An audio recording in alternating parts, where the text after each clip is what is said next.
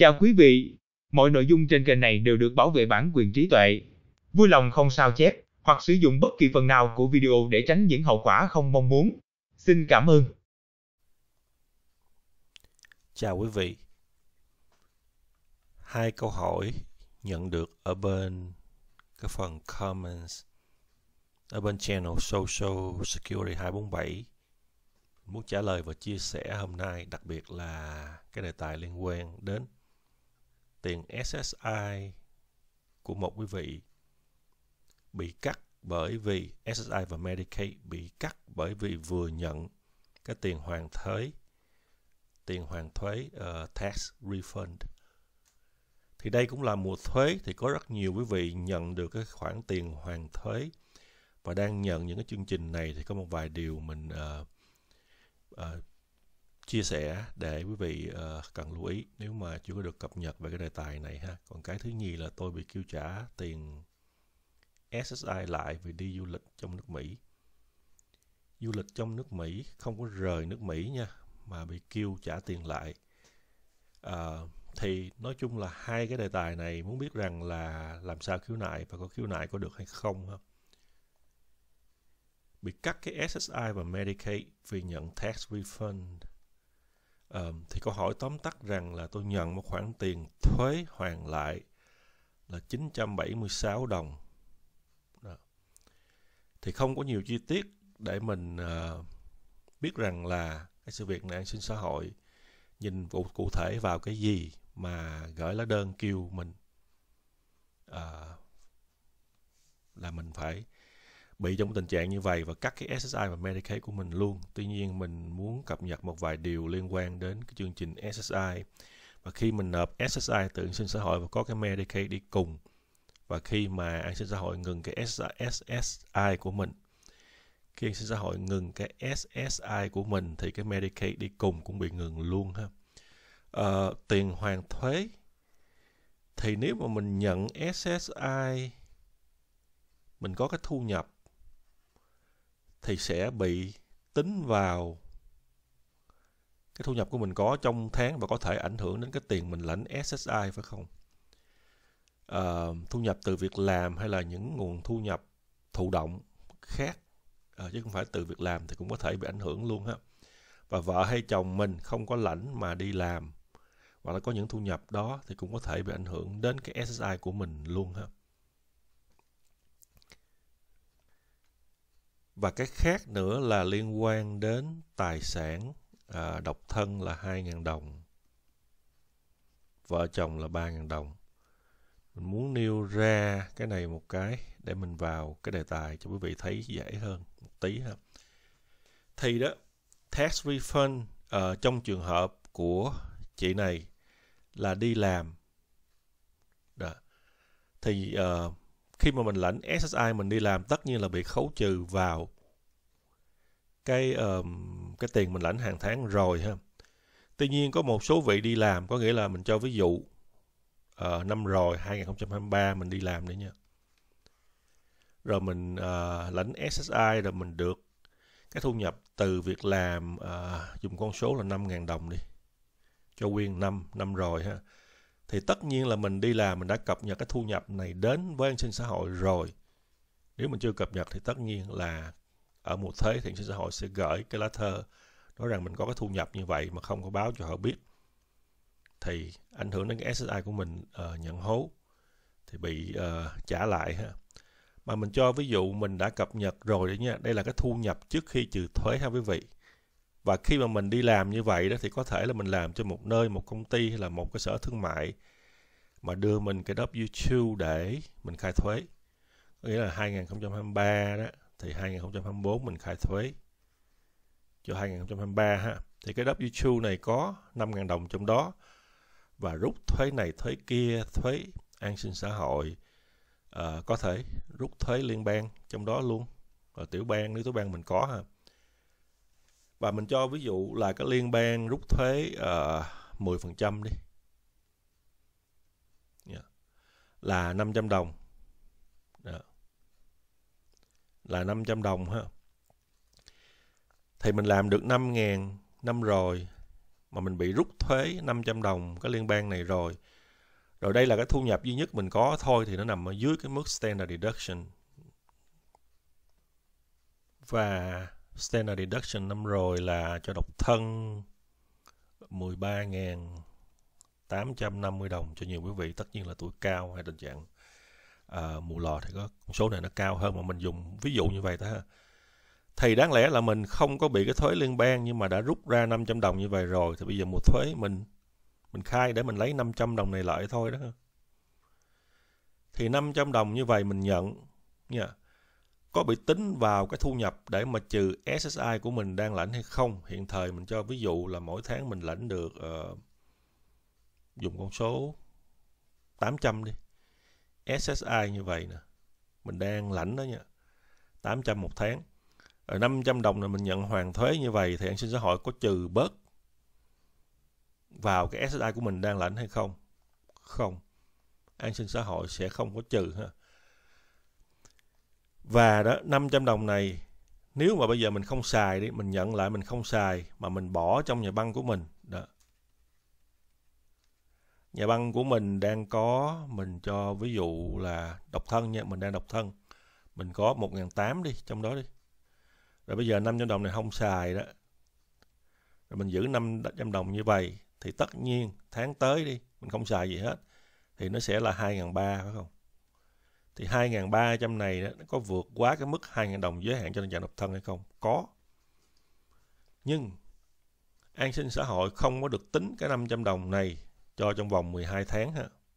Có nghĩa là cái tiền hoàn thế mình nhận lại đó, mình được mình được miễn 12 tháng, không có tính để ảnh hưởng đến là không có tính là thu nhập hay là tài sản gì hết ha. Mình được 12 tháng. Rồi bây giờ là tháng 4 đi, 2024. Thì đó, cái tài sản nào mà mình có ở trong này á, thì đó, an sinh xã hội mà biết cái 500 đồng này đó là cái tiền hoàn thuế thì họ sẽ không tính nha. Mà nếu mà họ không biết nha, mà đó 200 uh, ờ, cộng lại mà trên như vậy đó thì sẽ bị ảnh hưởng ha thường thường xin hội xét nhà băng mình đó nếu mà mình nhận cái tiền hoàn thuế từ sở thuế nha IRS thì cái uh, cái bank statement đó mà an sinh xã hội nhìn vào nha an sinh xã hội có thể lấy những cái này để mà nhìn vào nha hoặc là quý vị cung cấp. Thì họ biết được những cái này là từ IRS gửi đến nhưng mà có một số vị nhận cái khoản tiền đó có thể là gửi đến bằng check đến mình. Có nghĩa là một số vị nhận uh, check hay là nhận qua những cái cách khác đó thì không có được cập nhật như vậy cái tiền này vào cái hồ sơ của mình thì sẽ đẩy lên cái mức 2.000 đồng tiền sinh xã hội không biết.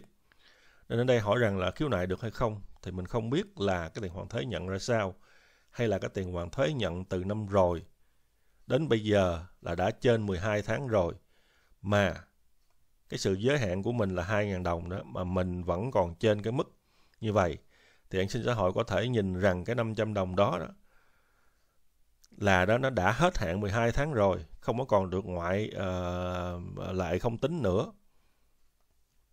Nha, chứ mình không có thể giữ hoài cái số đó 500 đồng mình lãnh cái hoàn thuế uh, tháng 4 năm rồi rồi bây giờ là tháng 4 2025 rồi tới tháng 5 tháng 6 tháng 7 tháng 8 tháng 9 uh, 2025 đây, mình nói ví dụ thôi nha. Ví dụ tháng 4 2023 mình lãnh đi. Rồi tới tháng 4 2024 là 12 tháng rồi. Rồi mình tiếp tục mình giữ nó hoài hoài hoài luôn như vậy đó. Là mình nghĩ rằng nó sẽ được lội ra hoài luôn thì không có. Chỉ giới hạn là 12 tháng thôi quý vị. Nên hãy lưu ý. Và khi mình nhận đó, cái này ờ, cái sự hoàn thuế này vào cái tháng nào, ngày nào thì mình khuyên là nên lưu giữ ra để khi mà an sinh xã hội đó uh, thì tất nhiên là khi mà họ kiểm tra cái hồ sơ của họ mà nếu mà không có uh, trùng phù hợp với cái hồ sơ mình có mình nhận cái tiền hoàn thuế từ thời điểm nào đó thì hãy cho họ biết để mà họ có thể điều chỉnh cái hồ sơ của mình nha. Còn mình giữ hoài như vậy mà mình nói rằng tôi không biết tôi giữ 15 17 tháng gì đó tôi không biết thì mình lãnh hố là chính xã hội kêu mình trả lại. Rồi cái tiền mình mà chơi như vậy thì bị ảnh hưởng bị cắt cái SSI và có cái Medicaid đi cùng luôn ha và đây là mình nói cái tình trạng mình là độc thân mình lãnh uh, tiền hoàn thuế lại cho trường hợp của mình. Mà nếu mà vợ chồng người kia có nghĩa là người vợ hay chồng mình không có lãnh SSI mà người đó đi làm rồi khi mình khai thuế lãnh cái tiền hoàn thuế ấy lại đó, thì là cũng hãy lưu ý rằng là nếu mà mình giữ hoài như vậy đó mà quá 12 tháng là bị ảnh hưởng không Alright. Đây là câu hỏi của một quý vị hỏi rằng là tôi đi du lịch trong nước Mỹ 16 ngày, tôi đâu có về Việt Nam, đâu có rời khỏi nước Mỹ trên 30 ngày đâu, mà tại sao mà Bảo hiểm sinh xã hội kêu trả tiền lại ha? Thì đây cũng là một cái đề tài mà mình chia sẻ cũng rất nhiều về cái trường hợp này khi mình lãnh SSI đó. Đây là cái trợ cấp. Mình có thể đi du lịch hay không? Yes, mình có thể đi du lịch. Và trong nước Mỹ thì không có hạn chế là mình đi phải trong vòng 30 ngày hay là ra sao đó. Tuy nhiên, an sinh xã hội có thể nhìn vào cái tình trạng của mình lãnh SSI uh, ờ, là gì nếu mình lãnh bởi vì mình có tình trạng bệnh tật. Đó. Thì an sinh xã hội sẽ có thể nếu mà biết mình có chuyến du lịch như vậy đó thì có thể hỏi là cái tình trạng bệnh của mình rồi cái chuyến du lịch những hoạt động trong cái chuyến du lịch ấy làm sao mình có thể mình có những hoạt động đó trong khi là cái hồ sơ của mình. Mình luôn cung cấp với an sinh xã hội là tình trạng bệnh mình cản trở những cái hoạt động di chuyển mình không thể uh, đi xa hay là rời xe vân vân. Rồi mình có những cái cuộc hẹn bác sĩ thường xuyên uh, mỗi tuần một lần hai lần mà mình thực hiện một chuyến đi uh, hai tuần mà mình không có phải cần khám hay là không có cần đi đến bác sĩ có những cuộc hẹn như vậy thì làm sao mà mình vẫn ok, ha. thì cái đó có thể là cái dấu hỏi cho an sinh xã hội, ha. Rồi nếu là mình nhận tiền bệnh qua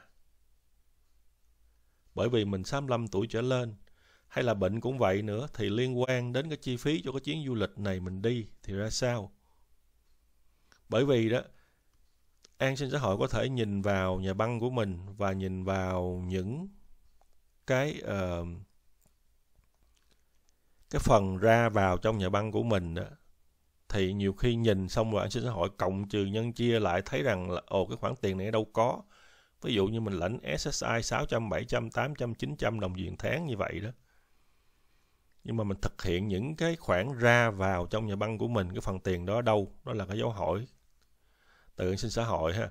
Và khi mình lãnh SSI thì có những cuộc uh, phỏng vấn theo thời gian, để xem của mình còn đáp ứng được điều kiện để mà tiếp tục lãnh SSI hay không, thì có những cái gì trong những cái cuộc phỏng vấn như vậy đó, đưa ra cái bằng chứng để an sinh xã hội thấy rằng là, ồ, cái này nó không có phù hợp với những cái lời trình bày của người này, thì ảnh hưởng đến SSI ha. Mình thực hiện một chuyến du lịch, mình cho ví dụ là hai tuần đi, trong nhà băng của mình luôn có 500 đồng một tháng, rồi mỗi tháng mình lãnh được 900 đồng nữa rồi 900 đồng này đó thì vừa đủ để mình chi trả những cái chi phí mình có cho cái chuyến du lịch của mình hết luôn.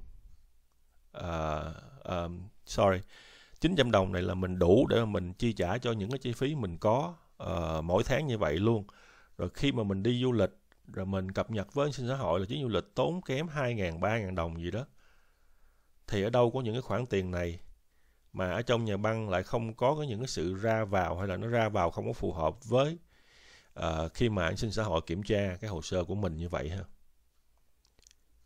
Nên mình khuyên là hỏi rõ với an sinh xã hội rằng là những cái lý do gì mà họ kêu mình trả tiền SSI lại.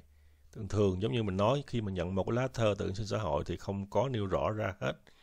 Cụ thể những cái lý do thì mình có thể hỏi.